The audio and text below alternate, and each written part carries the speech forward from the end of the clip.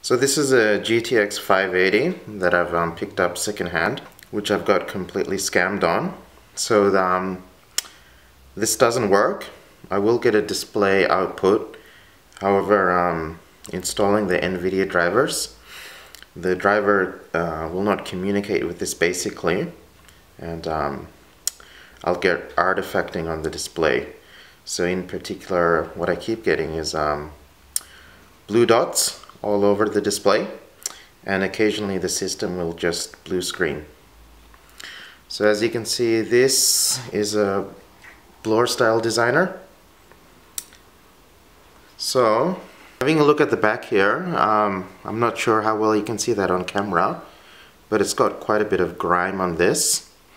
So as a last attempt what I'm going to do I'm going to disassemble this, clean this thoroughly get rid of all the grime, um, replace the thermal compound, and just see maybe, just maybe, if I can get this to work.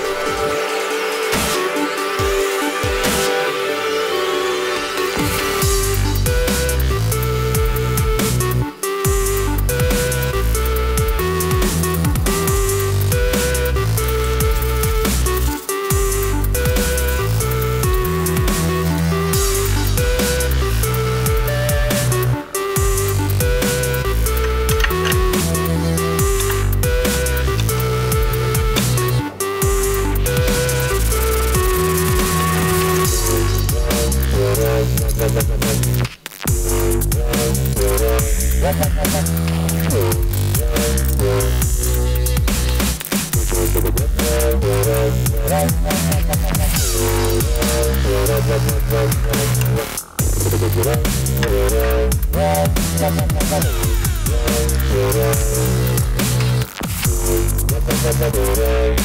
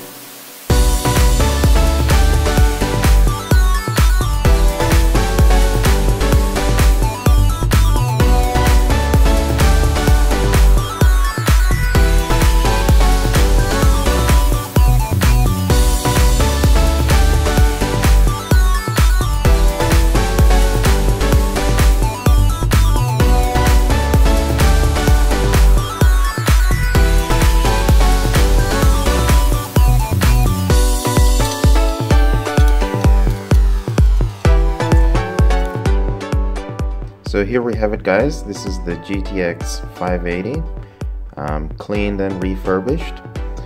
Unfortunately, despite all my effort, the problem is still persisting. The card refuses to communicate with NVIDIA drivers and we'll show some artifacts. However, um, uh, without the drivers installed, I am getting uh, display output just fine. So, quite disappointing, but what I think I'll do is um, I'll leave this for the time being and um, come back to it, probably in a few months. And in the very last attempt, what I'll try is to reflash the BIOS. Um, fingers crossed that the um, problem is just due to a corrupt BIOS. So stay tuned in the future to see um, how we go with that. Thank you for watching. Um, subscribe if you like this content and let me know what other things in the future you'd like to see. Bye!